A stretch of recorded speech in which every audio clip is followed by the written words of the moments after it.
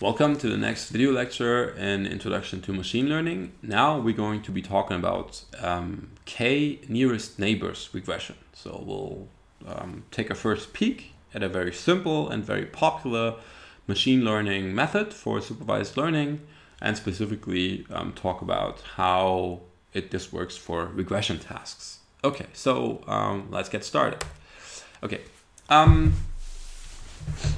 What's the intuition behind the nearest neighbors method? Well, it's almost uh, included in its name. Yeah, so the idea is that, um, all right, let's, let's motivate this with an example. So say we have locations of cities in two different countries and we know which city is in which country. But we don't know specifically because, I don't know, for some reason our map is weird. We don't know where exactly the border between these two countries is. Yeah. And now for any given location, we want to figure out whether it belongs to country A or country B. Yeah.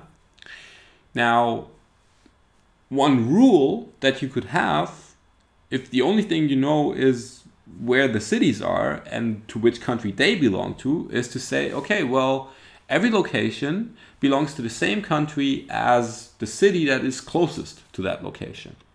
And that's the nearest neighbor rule. Okay? Um, and you can extend this, it makes it make it a little bit more complicated by saying, okay, well, I'm not just looking at that one city that is closest to the location that I want to classify as country A or country B. I'm not just looking at the closest neighbor, I'm looking also at the second and the third and the fourth closest neighbor. So I'm looking at K of them, the K closest neighbors, yeah? And I'm basically taking a vote and saying, okay, well, if three of the five closest neighbors are country A, then I assume that this location is country A. Yeah? Okay. So that's the idea of K nearest neighbor. Now let's uh, make this a little bit uh, more precise. So first of all, first important thing here is that K nearest neighbor methods can be used for both regression and classification. We're not talking about classification yet, so here we'll talk about K nearest neighbor regression. The idea is that we generate predictions for our target variable for a given combination of features x by looking at which other observations are closest to the x that we currently have. So we're looking at distances in the feature space. Yeah, We're looking at the closest ones that are most similar in terms of their features um, than the one for which we want to generate predictions. Yeah, um, and then, well, we're using those to generate predictions. So what we need, first of all, is a way to quantify distance or similarity, which are opposite terms for the same concept, basically. Yeah, we require some kind of distance or similarity metric in the covariate space.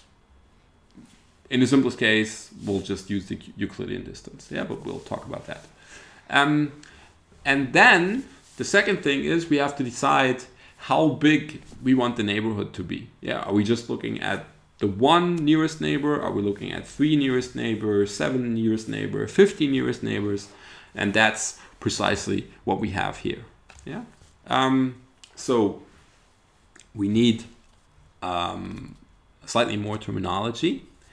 For any um, point x, now this is not an observation. This is just any combination of feature values x. Yeah. We, we need to figure out what the k closest actually observed feature vectors xi are, and we call that set of the k closest points to any coordinate x. We call that the k neighborhood of x. Yeah, so if we visualize that, um, so this light green dot, that's our x. And if we set k to 3, then the k three nearest neighbors are those three um, dark green dots. Yeah, so the k neighborhood, that will be those three dots. Okay, don't worry about the circle. Yeah, the circle, we'll get back to that. Okay, but the, the K neighborhood is not the circle, it's specifically the set of these three points. If we extend that to 7, well, then the, the k equals 7 neighborhood, well, that would include these 7 points. Yeah, And if we go up to 15, then that would include all these points. Um, now, let's go back to that graph. Let's talk about that circle. Because how large or small k is basically defines at defines how large the neighborhood will be that you look at but not in the sense that it's always like a given distance yeah uh, but just in a sense that well if k is small then you're really only looking at small tend, tend to look at smaller more local neighborhoods and as k increases you're looking at much larger neighborhoods so you, you're basically extending the scope of things that you consider to be so similar to this point that you want to use them to predict what happens at this point in your feature space. Yeah. So here we have a two-dimensional feature space, x1 and x2. All right. Um, how to calculate distances? Well, the most popular way to do it is the one that we already know. It's just a simple Euclidean distance. The Euclidean distance is just uh, the square root of the sum of the quadratic distances in each coordinate. Yeah, so we have a data point x and a data point x tilde, both in a p-dimensional feature space where all the features are real numbers. Then the Euclidean distance between these two vectors is just, uh, well, the square difference in each coordinate summed up and then taking the square root of that. Yeah, that's the Euclidean distance. Um, so if we have these three data points, 1, 3, 4, 5, 7, 8, then we look at what the, and we compute the Euclidean distance. Um, in this between B and A and B and C, we can see that A has a smaller distance to B than C to B, so A is the nearest neighbor for B. That's not the only distance measure we could use. Um, there's another one that's popular. Um, it's called the Manhattan distance that just takes the sum of the absolute deviations and it's called the Manhattan distance because if you think about um, basically it just sums up how far along each axis you go so you can you're not looking at diagonals like the Euclidean distance does you're only looking at uh, basically going parallel to one of the axes and it's called Manhattan distance because obviously in Manhattan because all the streets are like perpendicular you can only go like that. Okay, that's why it's called the Manhattan distance. Okay, another very popular choice is the Mahalanobis distance, which also basically takes into account how the features are correlated um, with each other. Um, but okay, that's uh, maybe for a later lecture. Okay. Um, all right, so this is the Manhattan distance, as I just said. It's basically just the sum of the distances along each axis yeah, and the Euclidean distance, that's the length of uh, this uh, line from x to x tilde directly. That's the geometric interpretation of these two distance measures. All right. Um, there's also um, the problem here of um, maybe sometimes not having all features that are like all um, numerical features, and then you need something called the Gower distance. Yeah, because if we have also categorical data or maybe some missing data, then we still want to be able to compute a distance. So um, the Gower distance for a feature vector is um, composed of a weighted sum of Gower distances of the components of the feature feature vector. Okay, so um, and these weights here, these depend on whether one of the variables feature values is missing or not for one of the vectors. Yeah, so um, or well, also yeah, there, there are different things here. Also, um, you can basically fine tune it to mean that maybe for a binary feature vector, some categories are not as informative as the other. So you know, it doesn't really matter whether both people are not colorblind. But if one of them is colorblind and the other is not, well, that's an important distinction. Yeah. Okay, so that's uh, that's these deltas, not too important for us.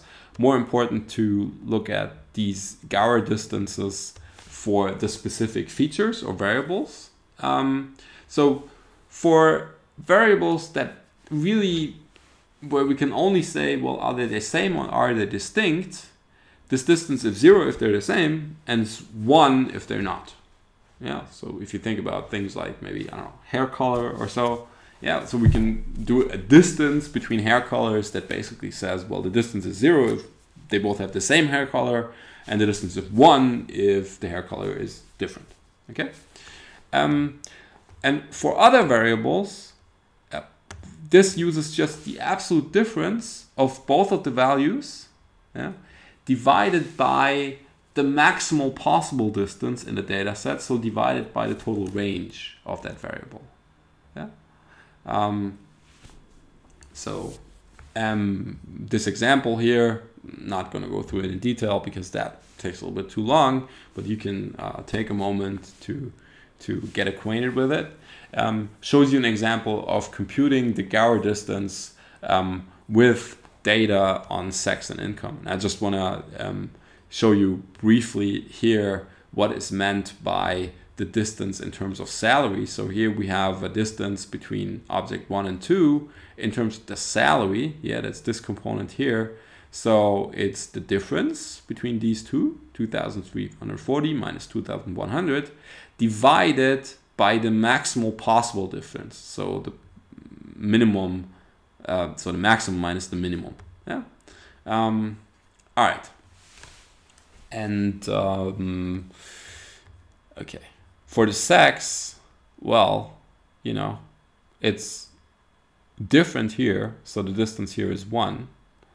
For the distance between 1 and 3 in terms of the sex, well, here the information about sex is missing. So that doesn't basically come into that uh, into that sum here. And then also, obviously, the only thing that really matters is this. So we don't divide by 2, we only divide by 1. Yeah, so that's this delta here.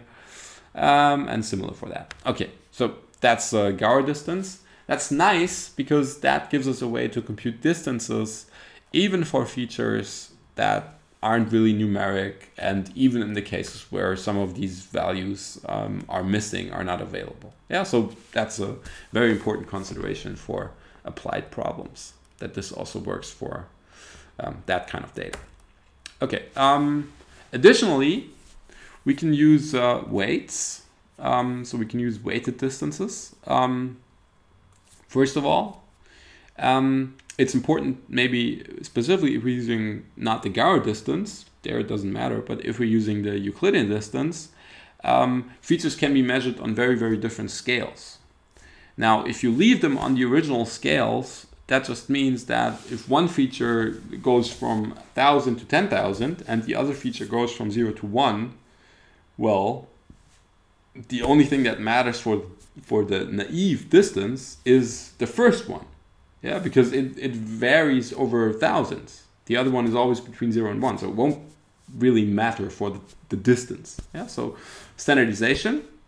Um, so um, we can assign a higher weight to values that basically vary over smaller scales, or we can standardize the features themselves. Um, that's one reason why we would maybe want to use weights. Um, another reason is that we can use weights if we have prior knowledge um, about which features are more important, or maybe, yeah, something like maybe newer data should be more important than older data or stuff like that. Then we can assign weights uh, based on those considerations. Yeah, and then that still will give us a valid um, a valid distance measure.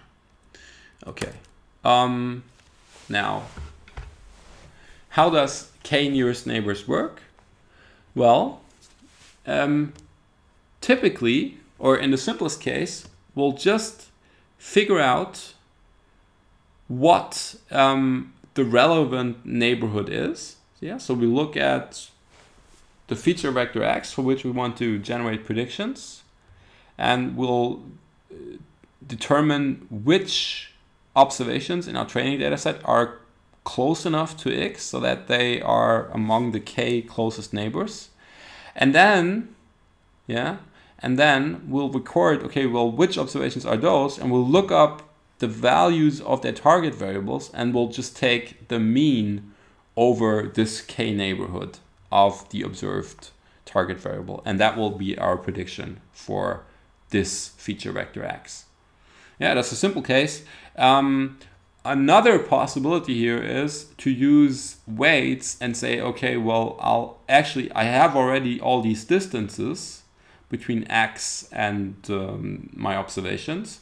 So why not put more weight in this in this average on observations that are actually closer to x. Yeah, so here I'm basically doing a weighted mean over the elements of the k neighborhood. All right. Um, so to summarize, how does KNN work? Well, it has no optimization step and is a very local model. Yeah, so there's uh, basically really not much to compute here. Um, it's a very assumption-free method. We are making no structural assumptions at all. We're just basically saying our heuristic is things that are similar in the feature space are very likely to be similar in terms of their target variable. So let's just use the things that are similar in the feature space to generate a prediction. Um, as we make k smaller, the method becomes less stable in the sense that small changes in x will change which neighborhood is relevant for that x, so will affect the prediction. If we make the neighborhood larger, then we have to move much farther in the feature space in order to really change the prediction. Yeah, because the the, the larger set of neighbors is more stable. It doesn't change as fast as we move over the feature space. Yeah, so um, what KNN doesn't deal with so well is the presence of a lot of features that actually do not matter for the predictions. Yeah, because they will still play a role in the distance calculation, which controls the neighborhood. So that will tend to mess things up. And also, what's very important is um, that KNN obviously is very sensitive to different uh, scales of the features in terms of distance calculation, unless you're using the Gower distance.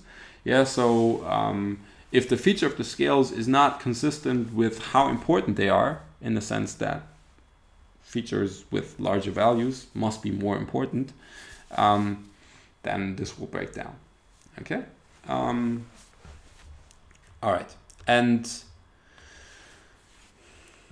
that's it for KNN. Let's uh, try to put KNN um, into our um, overarching broader framework. Um, so the hypothesis space of uh, KNN, that's actually a pretty complicated thing. It's step functions over tessellations of the covariate space where the pre precise tessellation depends on the observed configuration of feature vectors. Yeah. Um, it has hyperparameters that we have to basically use as inputs to our learner. So we have to figure out what an appropriate distance measure is. Um, and we have to set the size of the neighborhood k. Yeah, and as I said, specifically the size of the neighborhood is also very important. In terms of the risk, for uh, KNN learners? Well, we can use any loss function for regression or classification. Yeah, this is uh, possible for both. Okay, and in terms of optimization, well, really, that doesn't apply here. It's not really necessary. There's nothing to optimize here. Um, based on the risk function, um, we will know basically analytically what the prediction, that what algorithm to use for computing the prediction. There's nothing to optimize here. Um, what, what in practice, what we can optimize is the way that we look up the neighborhoods for a new point for which we want to generate the prediction. So that could be sped up. Yeah? We think about clever data structure to do that. And also um, avoiding the computation of all distances for a point for which we want to generate predictions. Yeah, if you think about your training data, maybe has 10 million points. If you need to compute 10 million distances, um, every time you want to predict for a new point in order to figure out which of these 10 million points is part of the k nearest neighbors, you're not going to have a good time. Yeah, but uh, by doing clever things, this can be avoided. So this isn't really part of the optimization in the framework that we've defined it, but well, it's an important uh, consideration in terms of implementation. Okay, that's it about KNN. Uh, thank you for listening. Thank you for watching.